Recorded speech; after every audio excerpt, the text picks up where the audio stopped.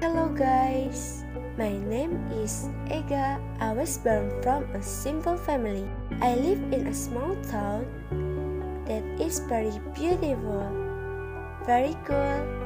Yeah, that is Kuningan City.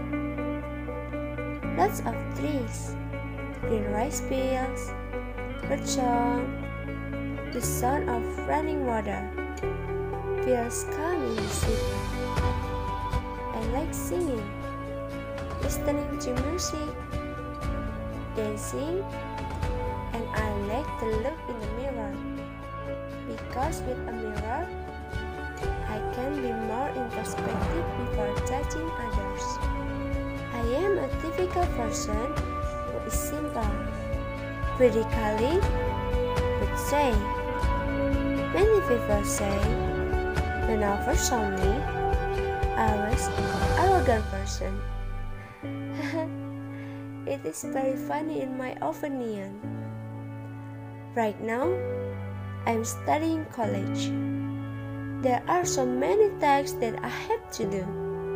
Ugh, that pisses me off and gives up. But I must keep the spirit in order to reach my goals.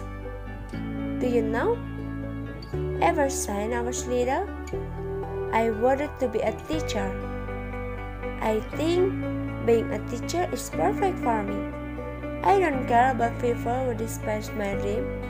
Despite the many obstacles I face, I had to become a teacher. And this is me.